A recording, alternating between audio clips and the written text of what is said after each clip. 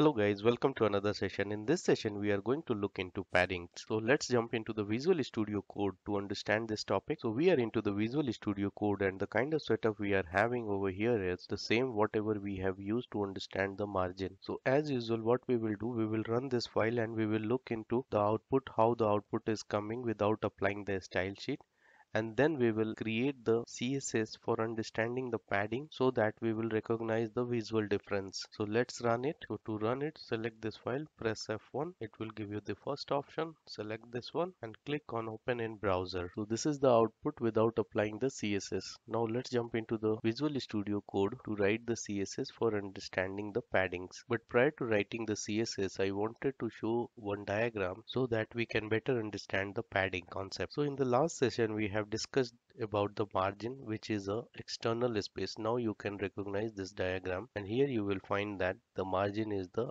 outer space. Now what we are going to learn in this session is the padding which is an internal space which is within the border. So this border which we have created and the spacing between this border to this element is called padding. So this space we are going to manage and we will learn that how we can manage the padding. So let's jump into the visual studio code to write it. So to write the padding we will create a class called pad. So now let's write the css for this class. We will call it dotted notation with name of the class pad. This is going to be selector and now we will provide the declaration.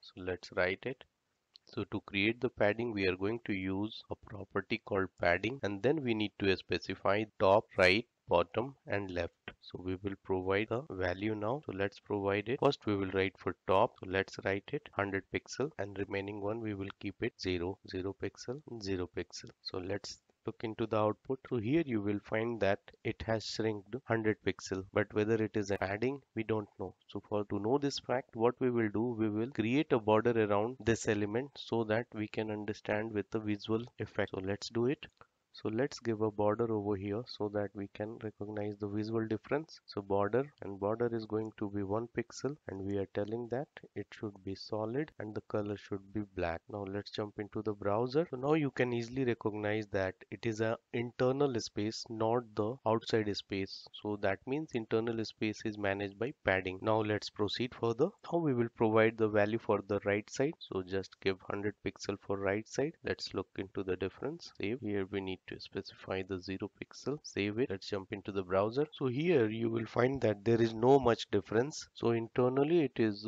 displaying from here that is 100 pixel but we are not getting the visual difference. So what we will do we will increase the size of the right padding so that we can recognize the visual difference. So let's say increase it. So to make it more visible we will increase the size and we will tell that 1000 pixel it should display from the right. Now let's look into that. Now this is the visual difference. You will find that it has shrink the space from the right and it has wrapped the text because it is not getting a space over here. So now let's proceed further. Now we will look into the bottom pixel let's make it 0 and give 100 pixel over here. Save it. This is the value for the bottom padding. So let's jump into the browser. So here you will find that it has created the internal space with the help of bottom padding. Now let's proceed further.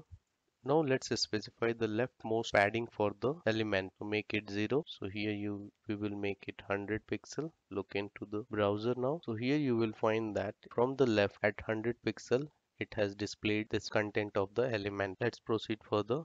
Now if you are providing the single value that means the same value can be applicable for top, right, bottom, left. So write it 100 pixel. See the visual difference. So see here from top, right, bottom, left the value is same that is 100 pixel. From right side you are not able to visualize it but believe me it is 100 pixel. Now let's proceed further. Now suppose if you are providing the three values so it represent the first value is being top so that is going to be for example 100 pixel we can take. And the second value we will tell that is going to be 200 pixel. That is representing right and left. And for bottom we are going to specify 100 pixel. Or we can say that 300 pixel so that we can see the visual difference. So the first value is the top value. Middle one is representing the right and left. And the third one is representing the bottom pixel value. So let's look into the browser. To see here from top it is 100 pixel. From right left it is 200 pixel. And for